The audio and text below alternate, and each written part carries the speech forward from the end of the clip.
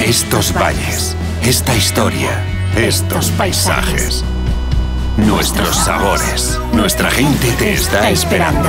Hay mil motivos para acercarse a los Pirineos de Cataluña con los cinco sentidos. Cataluña es tu casa.